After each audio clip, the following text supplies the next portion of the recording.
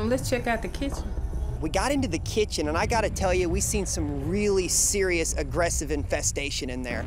Well, up here in this corner, we've got uh, 50 at least cockroaches. Those are a lot of the little ones, and what they do is they eat the fecal material from the adult roaches. That's why they live in the corners. The big ones go up there after a meal, crap in the corner, and the little ones eat it. Gross, ugh.